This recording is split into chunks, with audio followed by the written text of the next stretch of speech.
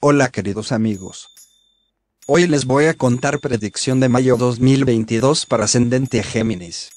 Esta es la carta de los planetas moviéndose en tránsito, que muestra las posiciones actuales de los planetas. No hay planeta en la primera, segunda, tercera y cuarta casa. Que tú estás sentado en la quinta casa. No hay planeta en la casa sexta, séptima y octava. Marte y Saturno están sentados en la novena casa. Júpiter y Venus están sentados en la décima casa. El Sol y Raúl están sentados en la undécima casa. Mercurio está sentado en la duodécima casa. Mercurio está en tu ascendente y es el señor de la cuarta casa. Mercurio está sentado en tu duodécima casa. Su salud puede deteriorarse. Habrá gastos innecesarios. Hay viajes al extranjero. No debe comprar un vehículo nuevo o una propiedad nueva durante este tiempo, de lo contrario puede sufrir una pérdida. El sol es el señor de tu tercera casa y el sol está sentado en tu undécima casa. El sol se exalta en Aries y da muy buenos resultados. Cualquier planeta en la undécima casa da buenos resultados. El sol también da muy buenos resultados en la undécima casa.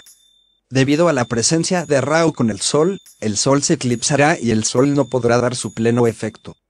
Puede tener malas relaciones con su padre y también puede tener diferencias con sus hermanos menores. Venus rige tus casas quinta y duodécima.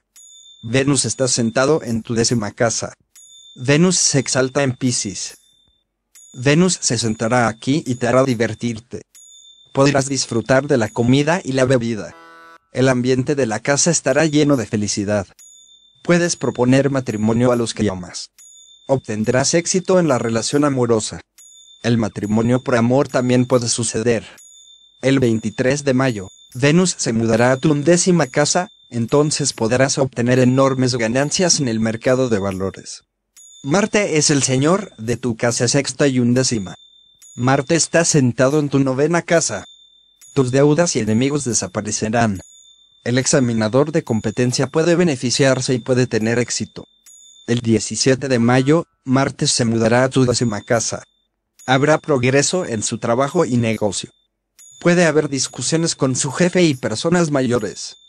Para los remedios de Marte debes cantar Mars Mantra y recitar Anuman Chalisa regularmente.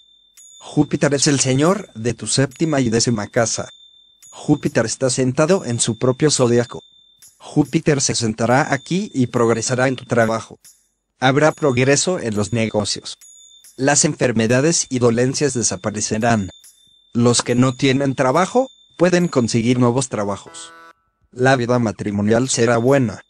Este es un muy buen momento para las personas relacionadas con el campo de la comunicación.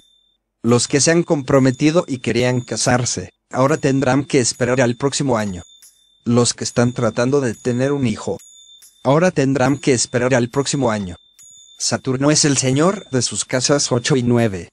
Saturno está sentado en su propio zodiaco. Serás apoyado por la suerte. El apoyo del padre estará disponible. Raúl y Ketu cambiarán el zodiaco después de un año y medio. Raúl se moverá en tu undécima casa y Ketu se moverá en tu quinta casa.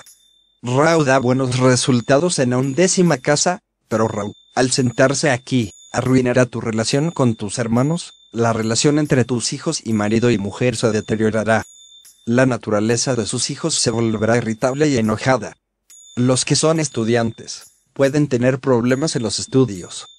Los estudiantes permanecerán confundidos. Así que esta fue la predicción de mayo de 2022 para el ascendente Géminis. Para obtener más información de este tipo, sigue viendo nuestro canal. Gracias.